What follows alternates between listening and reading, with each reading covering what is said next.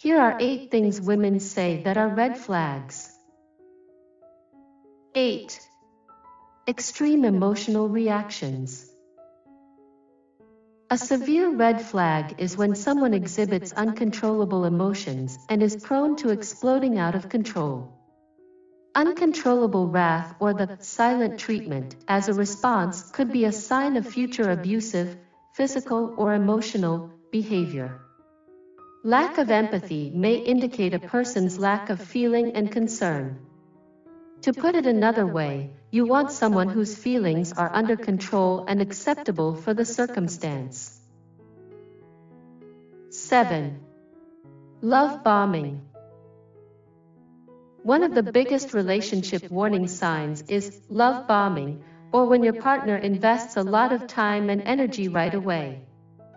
The love bomber will talk extensively about your future, show you tenderness, and make grandiose claims of love in an effort to win your heart before breaking it. This is a sort of manipulation. Love bombing is a relationship killer because narcissists are more likely to engage in it, and it goes hand in hand with other toxic relationship behaviors like emotional abuse and gaslighting. 6. Lack of communication. We are all aware of how important communication is to any relationship. Your partner may be disconnected or otherwise preoccupied if they appear absent, act as if they aren't listening to you when you speak, or ignore your texts or messages. Step 1. Have a discussion to determine whether your various communication styles may be reconciled with some time and consideration. 5 controlling or jealous behavior. It is quite normal in a relationship, and sometimes jealousy can be harmless. However, if your partner begins to act possessively or in charge of your plans, what you wear, who you hang out with, or isolates you from your friends and family, this could be a severe warning of emotional abuse in the future.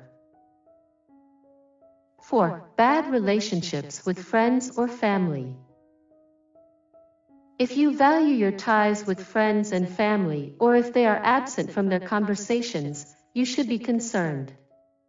Give them the benefit of the doubt and inquire about this with your partner before deciding it is a deal breaker. Perhaps due to their background, they found it difficult to have a close relationship with their family, but they have made a lot of effort to build a solid, chosen family among their friends. 3. Alcohol or substance abuse. If the person you're seeing frequently has problems controlling their alcohol, and not just occasionally, or if they regularly use excessive amounts of alcohol and other drugs, they may have an addiction. In this situation, having a meaningful dialogue is the first step. Consider it a deal breaker if your partner has a problem with binge drinking and won't accept help. It's like waiting for a time bomb to go off. On the other side, if they are able to identify the issue and genuinely seek assistance, this could strengthen your bond. 2. Gaslighting. You've probably heard of gaslighting because it's currently a very popular topic in modern dating. In essence, it signifies that they hold you accountable for anything they did or that they place the blame for their response on you. It serves just to inflame you and give you the impression that you are insane.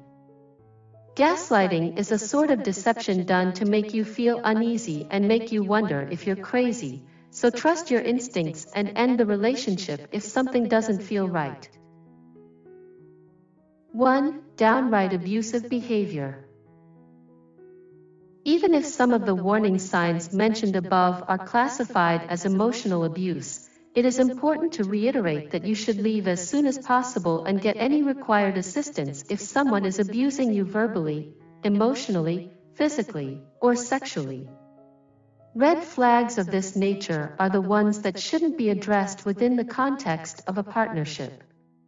If you are in danger, the sign is a stop sign rather than a red one.